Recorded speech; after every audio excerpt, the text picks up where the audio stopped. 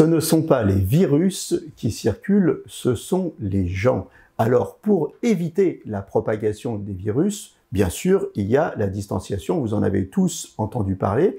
Il y a aussi le port du masque euh, qui est recommandé, mais on oublie trop souvent l'hygiène des mains. Est-ce que vous savez qu'on porte ses mains en moyenne plus de 20 fois par heure au visage?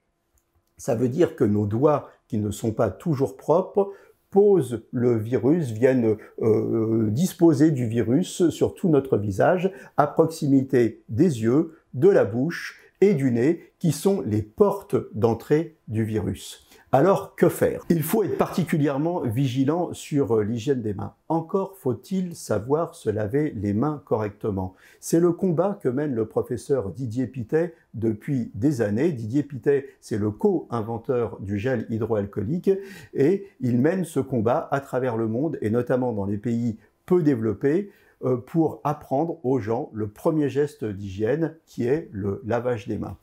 Quelques gestes à se rappeler très très simples. On prend d'abord une noix de gel hydroalcoolique qu'on va déposer dans la paume de sa main.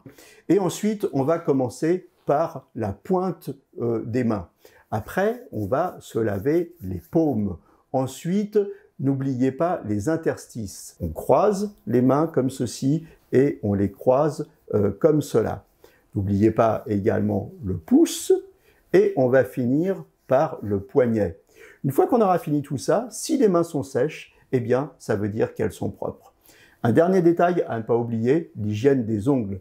Ce sont de véritables nids à microbes, ils doivent être propres et coupés courts. Voilà, vous savez tout sur l'hygiène des mains. À très bientôt et d'ici là, portez-vous bien.